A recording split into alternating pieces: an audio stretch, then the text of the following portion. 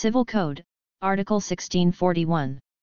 As to all matters not specifically provided for in this title, barter shall be governed by the provisions of the preceding title relating to sales.